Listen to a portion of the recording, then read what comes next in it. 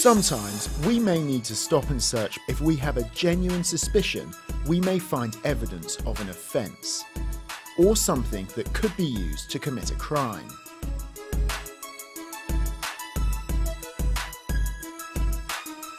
If you are stopped and searched by our officers, it doesn't mean you're under arrest. You've done anything wrong, or you'll have a criminal record. But you should be told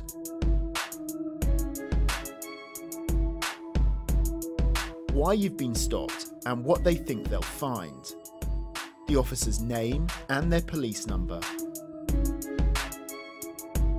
and the station where they're based, and what power they use to stop you. So, we always want to be professional and legal. And when we do need to stop and search, we should be finding something more often than not.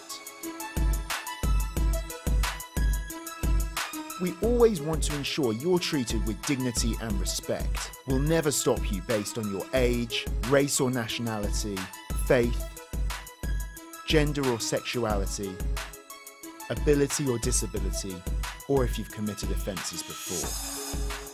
To find out more, you can call us or visit our dedicated website. You can also apply to go on patrol with our officers to see what they do firsthand.